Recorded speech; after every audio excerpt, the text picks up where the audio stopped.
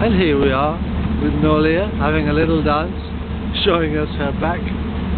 It's just after half past four and she's having a very nice time. a beautiful lake and a peaceful weekend afternoon. Bye bye folks.